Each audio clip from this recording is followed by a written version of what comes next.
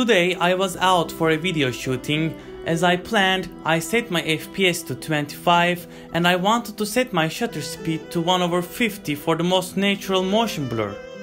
That's when I realized that I wasn't able to set my shutter speed to 1 over 50. It was jumping from 1 over 45 to 1 over 60. I just cried and shot all footages at 1 over 45. I have my camera here and let's check the shutter speed.